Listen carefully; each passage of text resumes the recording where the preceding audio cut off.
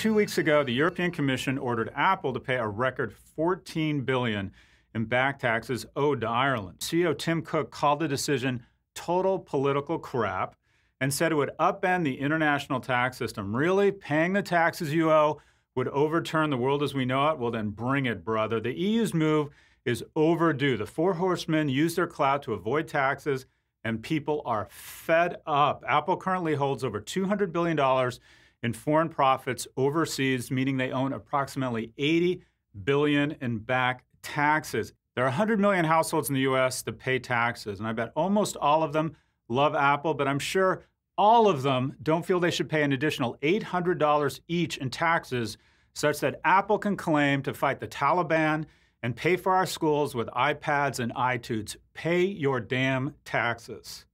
A loser, Facebook, for its ham handed attempt to circumvent ad blocking software. Facebook is very motivated to protect its primary revenue stream, advertising, which reached $17 billion in 2015. Yet their solution was flawed on a couple levels. It disguised an attempt to gather more consumer data as a noble effort to serve better ads, and it disabled ad blockers without explicit permission to do so. The approach failed to address the real issue advertising fatigue and the poor quality of most digital advertising. The advertising industrial complex is coming to an end. Advertising has become a tax that poor people pay for 20 bucks a year. We should be able to opt out of your shitty advertising, Facebook a winner live streaming and more evidence of the death of the advertising industrial complex. 15% fewer people watch the Olympics on NBC TV this year, and primetime viewership was down 34% among the all important 18 to 34 year old demographic.